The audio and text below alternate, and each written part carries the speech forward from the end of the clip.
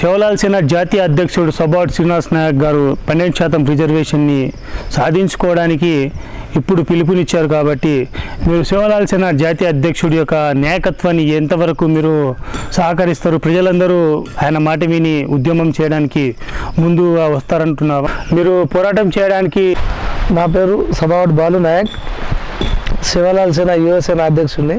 రాష్ట్ర యువ అధ్యక్షులు మీరు పోరాటం చేయడానికి ముందుగా యూత్ని మనం యూత్లు ఏం చేస్తున్నారంటే వాళ్ళ ఎంబడి కొందరు వీళ్ళ ఎంబడి కొందరు అక్కడ ఇక్కడ అంతా చిలుస్తున్నారు.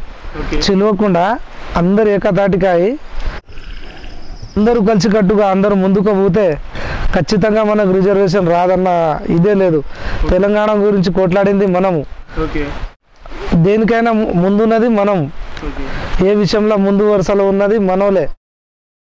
మనం ఏం చేస్తున్నామంటే వాళ్ళ ఎంబడి కొందరు వీళ్ళ ఎంబడి కొందరు వెళ్ళిపోతుంది ఎస్టీ యొక్క రిజర్వేషన్ని ఏ విధంగా ముందుకు తీసుకుపోవాలనుకుంటున్నారు?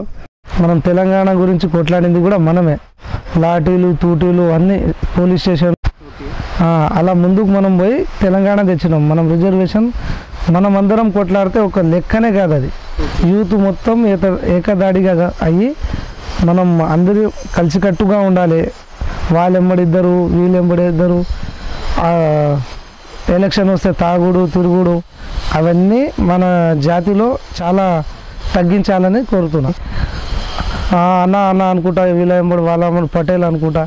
వాళ్ళ ఎంబడి వీళ్ళ ఎంబడి తిరగడం మానేస్తేనే మనం రిజర్వేషన్ ఖచ్చితంగా సాధించవచ్చు శ్రీనివాస్ నాయక్ని మనం ఖచ్చితంగా సపోర్ట్ చేయొచ్చు. ఎందుకంటే ఆయన ఎవరి మాట వినడు.